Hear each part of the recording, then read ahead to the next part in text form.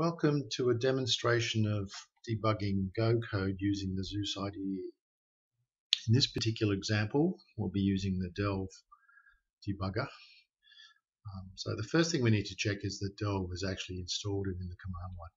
The easy way to do that is to use the Tools DOS command line menu right there. And all we have to do is, if we run Delve version, it'll actually check to see if Delve is installed. And sure enough, it's found the Delve debugger and announce its version number. The other thing to notice is we're running a, a beta version of Zeus. Um, earlier versions of Zeus had GDB support for Go and no Delve support. Uh, but now that Delve is actually working on Windows, um, the later version is now getting support for Delve. And as we all know, the GDB debugger support is not good, whereas Delve looks like it actually is quite good. And this example, this demonstration will show some of the features of Delve working on Windows with Go code. So we now know that Delve is installed. So the first thing we need to do is actually obviously get some code to debug. So here's a simple one file Go program. And the, the plan is to debug this. So the easiest way to do it for, for one file programs, the easiest way to do this is just to start the debugger. So if we do that using the debugger start menu, let's see what happens. And it pops up this um, file open dialog box. And what it's trying to do is it's what it's saying is it's it's expecting to find a main.exe because we're debugging a main.go file. And it didn't find the exe, so it's asking you, the user, to provide the location of the executable. Now, in this particular case, the problem isn't the, exe doesn't actually exist because we didn't build it. So because this machine also has Go installed, the easiest way to do that is just to run Go compile. And that by default will do a Go build on this file. So if we run that, we now, it's completed successfully.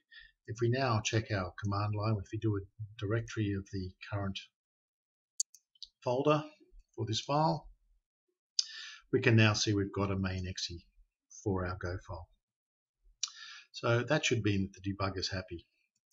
So if we now start the debugger, up comes the debug session. And this time it's, it's happily running the Delve debugger and we're debugging this main.executable. This uh, control panel dialog over here lets you control different aspects of that debugger. Now in this particular case, for example, let's just run continue.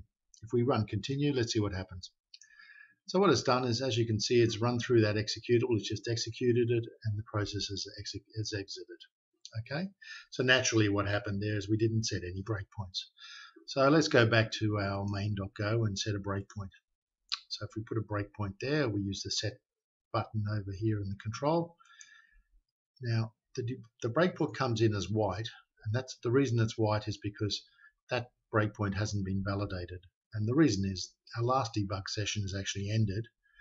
And if we hit the run button, it will reset that session. And in the process, we'll also validate our breakpoint. So if we hit run to reset the session, away we go. We have now got our new debug session. And as you can see, it's now set the breakpoint there and it's validated that the breakpoint is valid, is correct. And over here, we now have an, an indicator that says that the breakpoint is valid. If, for example, I put a break, try to put a breakpoint on code that doesn't exist, let's say line 20 over here, if I try and set that, it fails because there are there is no code at that line, and we get the indicator showing that the breakpoint is invalid. So let's clear that one for now. And I'll also set one right here on exit because I'll show another feature later on. So let's set that breakpoint there. All right, so now if we run continue, it hits the breakpoint and it stops on our breakpoint. Now we can arrange these windows to show both sessions, so let's just do that. And right here you can see that it's hit the breakpoint in the debugger at line 23, and it's also hit the breakpoint there at line, line 23. And again, we can use our step next buttons. Um, and so let's go step, step over, Right, so it stepped over that command. Yeah, you can see that it stepped over here in the debugger to the print statement, and naturally it's also moved over here on the to match over there. Now the other thing we can do is that we can use some of the other features over here in the control panel. We can look at the locals, for example. So there are all the locals in the current scope. Arguments, naturally there are no arguments in this particular case, so we get no results, but we've got things like threads, the registers. Um, the other thing you can do is you can print a particular variable. So if I put go back here and I highlight, I put the cursor on the message over here, and I hit print, it prints out the value of message as it is right now. The other thing you can do is you can actually run debugger commands using this command line. Here's an example of an earlier thing where it's trying to print message 111.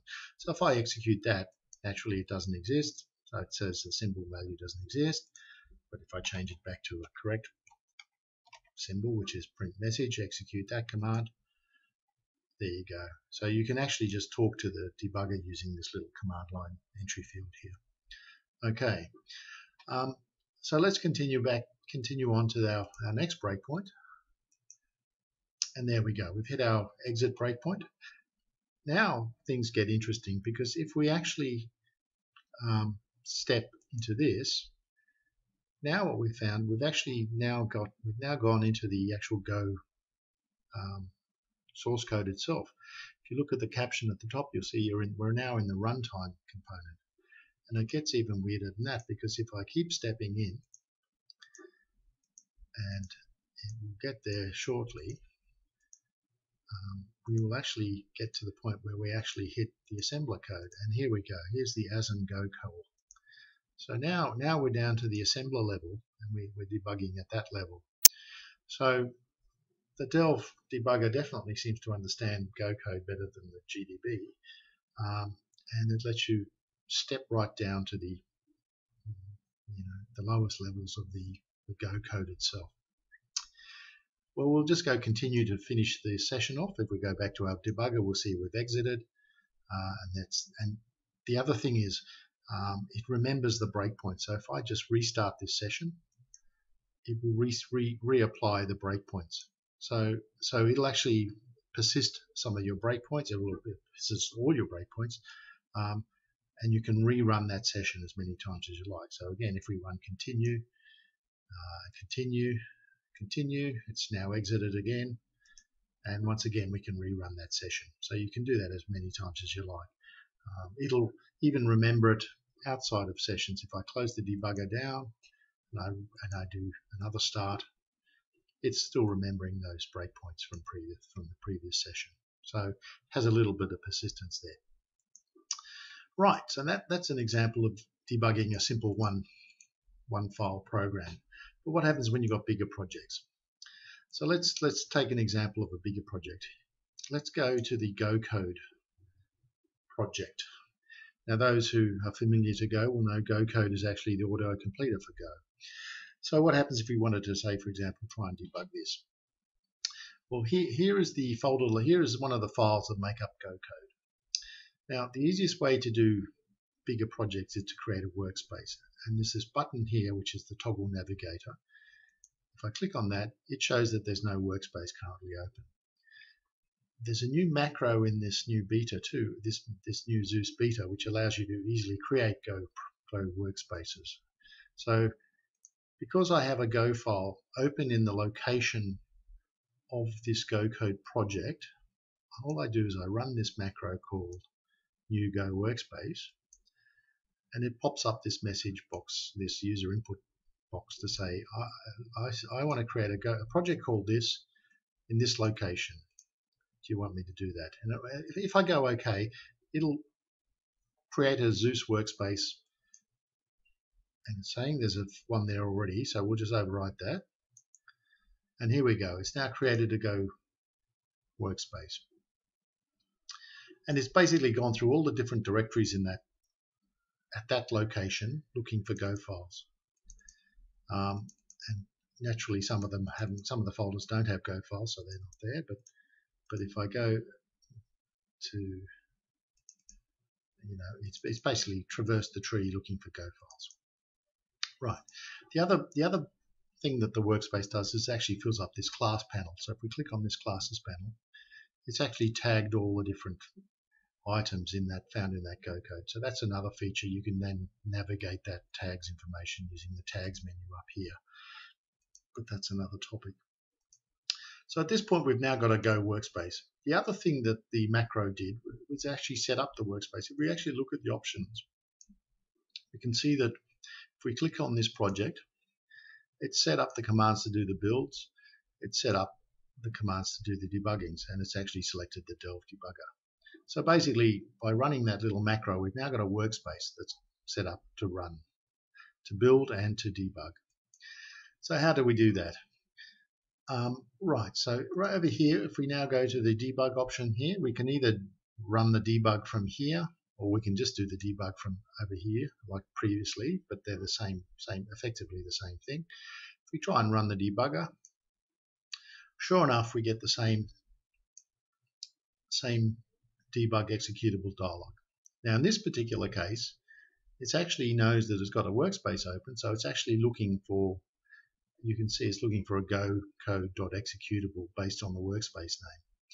Now, in this particular case, I don't have an executable. We've got we've made the same mistake. We haven't built the project. But it could be that the actual project name doesn't match the executable name, in which case what you really should do is is go into the workspace over here and change change this detail here. But in this particular case, that project name does match that executable name. And the only reason we're getting that dialog box is because we haven't done the build. So let's do that. Let's do a, a make on this project. Again, it'll do a go build. Now, we can go back and check using our trusty command line. And this time look for executables. And sure enough, there's our gocode executable. So now the debugger should be happy. So if I start the debug, we now have a debug session. Same again, you'd, you'd put breakpoints at your, um, you'd use the set option to set breakpoints, and let's see what happens. If we run it, we're now at that breakpoint. And again, I could view that variable by using the print and it's false. So it actually knows that it's false. So naturally, if I go step, we're doing the client-side code. So here we are, we're now debugging debugging the actual client side of gocode. And once again, it's it steps all the way into the into the bowels of Go, like here we're back down to the source net file, files. Um, so you can basically just debug it just like any other session. Okay, so that sort of gives you an overview of how the new features of the Delve debugger and how it works with the new version of Zeus. Um, one thing you should do is make sure you, if, if we if we run our little version number thing again, our version check, you'll notice that the version number is very early. It's an alpha version. So this is going to be changing quite rapidly. So naturally, you want to make sure you keep getting the latest version of Delve and replacing it with the version that comes with the beta. Okay, because obviously they're going to be fixing bugs as bugs as they get found. So you want to be using the, the, the latest details on how you actually build that and, and where you get it from. Um, there'll be a link at the end of this, uh, uh, on, in the summary section of this video, which will show how you go about building that. And it's a fairly simple process, but that'll be found in a link um, in the summary section of, of this video. But yeah, so you'd want to be making sure you get the latest versions of the debugger because I'm sure it's going to be changing. But as you can see, it actually seems to work quite well. It understands Go code quite nicely, um, and it's now integrated into Zeus. Thank you.